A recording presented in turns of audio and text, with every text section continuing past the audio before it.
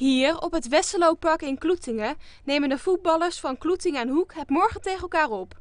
De derby tussen de twee hoogst voetballende ploegen van Zeeland is terug door de degradatie van Hoek uit de topklasse. Rogier Veenstra zit op de bank bij Kloetingen. De aanvaller, die nog herstelt van een slepende beenblessure, kijkt vooruit naar de ontmoeting met zijn vorige club. Ja, voor mij is het natuurlijk niet zo erg dan, eh, dan voor andere spelers. Want ik denk dat we een stuk of vijf, zes spelers hebben die van Hoek komen. Maar ik denk dat in heel Zeeland de wedstrijd wel leeft. Het is, uh, ja, we hebben geen uh, profclub in Zeeland. Dus dan moet je het met dit soort wedstrijden doen. Maar ik denk als er morgen 1500 man langs de lijn staat, dat dat voor iedereen een mooie wedstrijd is. Hoek heeft tot dusver zes punten behaald. Kloetingen pakte er nog maar drie. Uh, ik denk dat, uh, dat Hoek een beter elftal heeft. Maar wat ik net al zei, ja, we hebben echt een, een team dat, uh, dat voor elkaar vecht.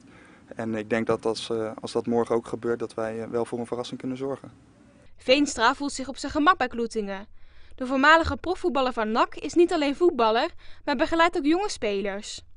Ja, ik ben met open armen ontvangen, ondanks, ondanks mijn blessure. Het is een hele leuke vereniging. Uh, ik vind het een beetje op een uh, echte dorpsvereniging lijken, maar dan op een, uh, op een redelijk amateurniveau. En ja, dat zie je ook wel in de groep. Iedereen gaat door het vuur voor elkaar en ik hoop dat dat morgen ook te zien is. Het is naast dat ik zoveel mogelijk wil spelen, ook mijn taak om jonge jongens een beetje te begeleiden. En dat gaat goed af, ze nemen, ze nemen alles van mij aan en je ziet ze beter worden. En ik hoop dat, dat ze daar veel profijt van hebben in, in de hoofdklasse. Voor de derby tegen Hoek heeft er wel een scenario in gedachten ja, je hebt altijd scenario's in gedachten natuurlijk. Het zou mooi zijn als ik er uh, een half uur voor tijd in kom en, uh, en het verschil kan maken. Maar uh, ja, ik weet wat ik kan. Ik weet wat mijn medespelers kunnen. Dus als ik er met 3-4-0 in kom, vind ik het ook niet erg.